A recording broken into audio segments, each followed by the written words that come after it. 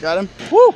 Woo! So, hopefully you guys can hear me. This dam's generating a bunch of water right now, as you can see. We're just gonna show you guys, we're catching big old rainbows. I mean, 20 inches, 21 inches. I'm gonna show you how we're catching these big old rainbows real quick and easy. We're throwing a little split shot with a little, about 1 4th ounce weight. Right in this little swirl right here, it's kind of taking it over towards this wall. We're just free lining it, letting it sink, just holding our rod, and then as soon as we feel them tap, tap, tap, we're opening the bail, letting them take it, and then boom, setting the hook. We're getting fish every two, three, four minutes. Big old rainbows, solid fishing. Let's go get some fishing, let's go. You got one? Well, that didn't take long.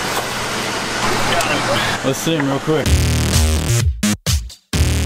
We're letting him go. That way one of y'all can catch him. All right, well, yeah, that's basically how we're catching them. Throwing a worm, letting it drift out up here, and just let them take it for about two or three seconds. Boom, let it rip.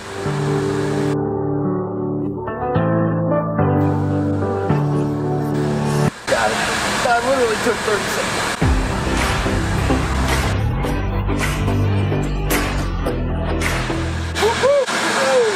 This fish.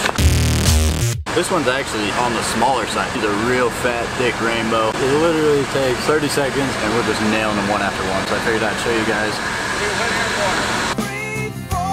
I still have my fish on that last one I just. Got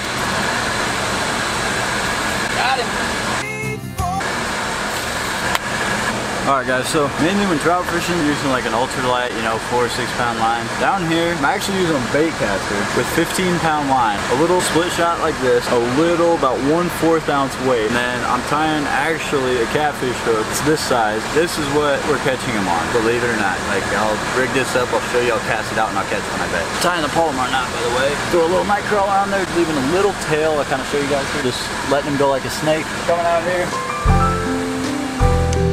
Got him. Got him. Woo! Dang, he nailed that. Got him. I called that one. He's already right here. Nice big old rainbow. Ooh, he almost jumped out of the net. All right. Oh, look at that fish. You got one? I'm gonna try to just grab him. Ow. No. Shoot. I got him, I got him. Ow, that thing stabbed me. Whew. It's a nice fish though. I cast it right out in the middle. I'm gonna let it float around for a split second. Just gonna hold it. When I can feel him tap, tap, tap, I'm just gonna yank. Set the, oh, just like that. He's tapping. Boom, got him. This is a good one. I think it's a rainbow, ain't it? It's only like every 30 seconds if I can feel him in there and boom. Woo, woo. That's a solid fat one right there. Put him on the stringer. Just solid rainbows. That's what we're doing out here. Figured I'd share with you guys. Now that we got our limit, we're gonna head out of here. Whew. Yesterday night, we came down here, nailed the big trout one after one. Actually got our limit about 35 minutes, so um, as you can see, it's the next day. We're gonna come back, try it again, see if we can have that same luck during the day with the day bite. So once it gets that real dark kind of stage, these rainbow trout, they just really shut off. That'll save you guys some time. Brown trout will hit after dark, but as far as rainbow trout, they don't really hit much once there's no light on the water. So we're down here today, we're gonna try it again, and let's go.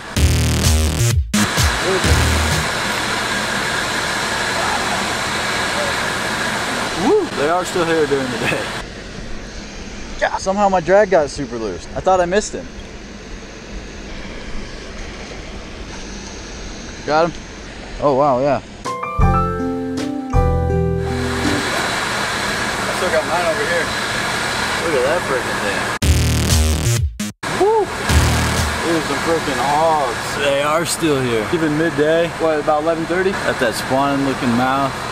Woo! We've actually caught three. We let one go. He was right at like 17, and he can only keep one over 16 each. So I got a big one. I don't know, it's probably about 20 inches. But I was just gonna show you guys fishing any spillway. I mean, obviously they're gonna have rocks and stuff. So one little trick that I was doing. So if you have your split shots like this, one thing you can do to kind of distribute the weight is move your split shots higher and lower, not too close to your bait or else you'll see it. But if you distribute them like this, so you can see right here and right here, that way all the weight's distributed and it's not a straight pulling point down to one area where it can get snagged. So let's go try this.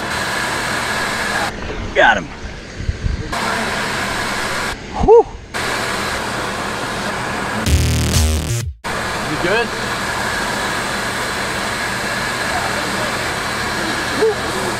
That's his fish. 15 and a half. Okay, perfect. You got another one?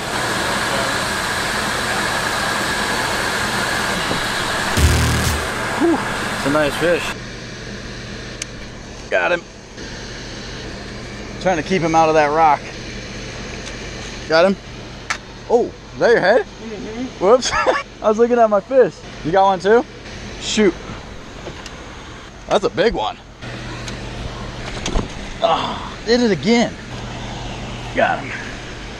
That's a good one too. I still got mine over here. It's a freaking brute. Let's see yours. Oh yeah. There's some freaking hogs. All right guys, caught our limit already today. About an hour and a half, I mean six trout. The biggest one I caught was 22 inches. I was getting away with those big hooks and that big line. We got one? We've just been sitting down here catching them, letting them go. Since we already got our limit, but he caught them a lot faster. He was using a real small hook. I would say use a little bit smaller hook during the day, but fishing wise, I mean, you always got to be adaptive, willing to change. I mean, that's how we came down here. Here we've caught our limit both times in about an hour. So don't forget, hit that subscribe button. Walleye, what's that? Walleye? There's that walleye you just caught. Freaking just hammering them down here. Woo. So we'll do a bunch of different stuff like this. You know, hit that subscribe button. Don't miss out on anything. I lied. We're back at it. So this is day number three. Let's go. Another nice one. That didn't take long. Came back at it and boom, big old rainbow. Oh yeah. You got one? I saw you in the screen. I was messing with the camera.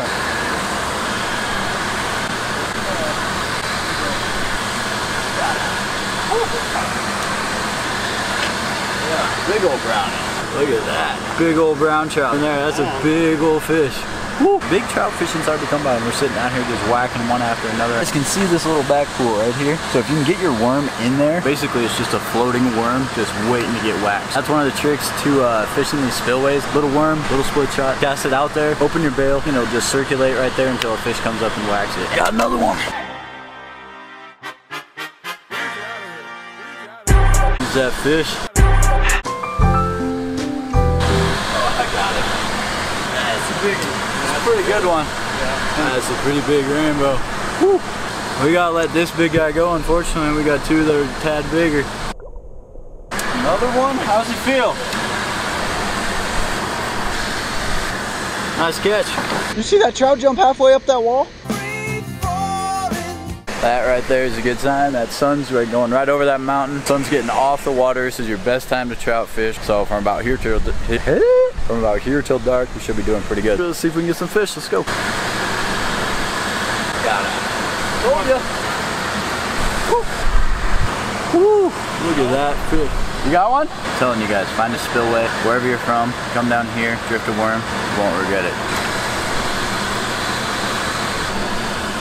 Yet again, another big fish. Couldn't even tie my hook after the last one. Back to tying my hook. I'm telling you guys, the secret to trout fishing, no matter where you're from, find the spillway, literally drift a night crawler, generating water, fish like that, moving water, go out here, drift a worm, find the backwater. It's always gonna come out and then it's gonna pool back wherever the white water stops. As you can kind of see over my shoulder, right here is where it's kind of circulating back. And that's where we're casting it, letting it take it all the way up. Your worm's basically just gonna float around. And I mean, what fish doesn't like a worm just sitting there floating around? That's the key to help you guys be more successful, I guess.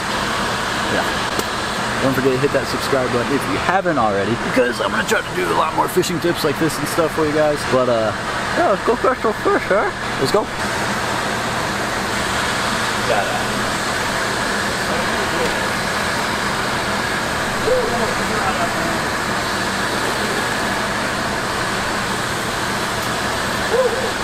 Yeah! Got one? Oh, you got it over here. That's your line, right? Yeah.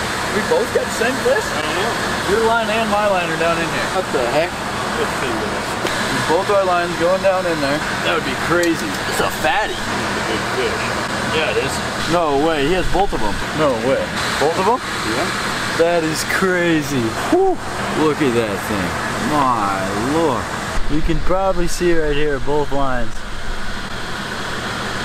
Both lines are down in it. That is a big fish. Whew. Was insane. I was trying to like watch it in the screen. You got one again? Jeez, can't even tie a hook. Like I'm saying guys, find the spillway.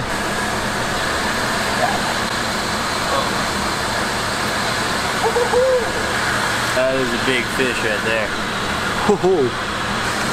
Got a hook out? Yeah. Barely even had my hook tied yet again and he hooked into a monster. Guys are liking the video so far, hit that subscribe button. We'll be doing a bunch more fishing, little tips and tricks, to help you be more successful when fishing. So hit that subscribe button for me.